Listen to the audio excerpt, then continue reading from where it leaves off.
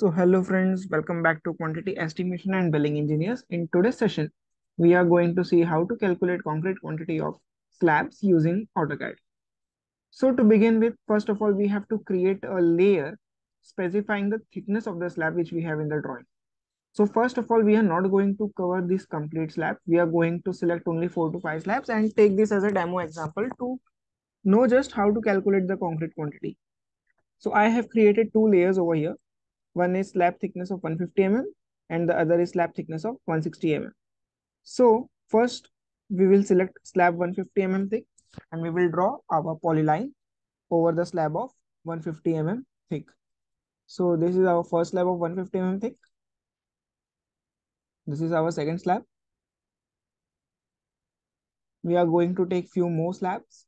For example, here we have one haunch kind of thing over here. So I am going to take a polyline and trace it over the periphery of this slab. So we are the technique which we are going to use is first we will draw polylines. Then we will make a hatch in those polylines to calculate the area of our slabs. Once we got our area, then we can easily calculate concrete quantity since we know the depth of our slab. So now I will take 160 mm poly uh, layer and I will draw polyline again. So here I will complete this and I will take one more slab. For example, so now our polyline is about to complete. Now, I will click on this polyline and I will do select similar. What this will do, this will select each and every polyline which is made under the polyline layer 160 mm thick. So I have kept this over here. I will, oh sorry, I will delete this.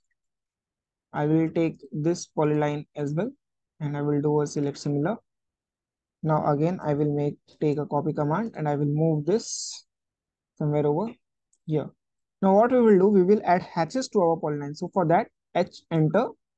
Now select objects. I will click here and click here. So everything will be selected in this.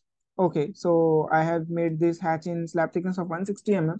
I will just go over here and change this to 150 mm since green slab is of 150 mm thick.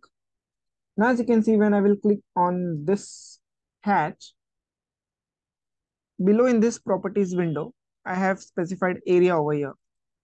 So I will just click on this calculator.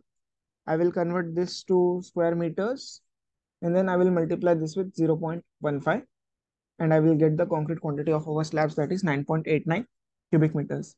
Similarly, for 160 thick mm slabs, we will take hatch, we will select our objects and press enter. Now click on this hatch. You will get area from here divided by 10 raised to 6. You can do this all calculations in AutoCAD, uh, sorry, Excel as well.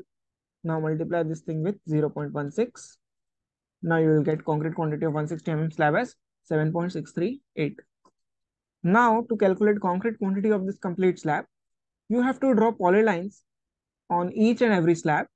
Just do right click and select similar. Take every polyline outside the drawing and give a hatch and your concrete quantity is ready to work out.